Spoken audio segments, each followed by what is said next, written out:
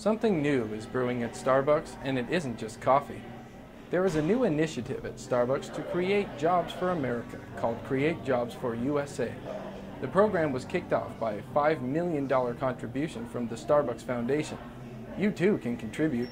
There are a few ways, one of which is a new coffee from Starbucks Blonde Roast line called Indivisible Blend. According to their website, Indivisible Blend represents the spirit of America, past and future. The coffee will do more for you than just deliver your caffeine fix, though. $5 of your purchase will go to the fund. Knowing that, knowing that if I buy a pound of coffee for my house, I can help somebody out. You know, the proceeds, you know, five bucks, that's a lot. I mean, if everybody gets it, then you know, it's going to that foundation. I'd like to help somebody out, so yeah.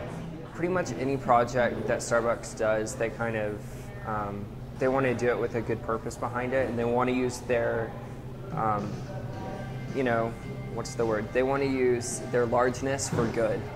Um, and I think this is a good product to sell to people. It's a good pound of coffee, and or a cool like wristband, and it goes to the Opportunity Finance Network, and um, based on that, they can create loans that will help sustain jobs and create jobs in America.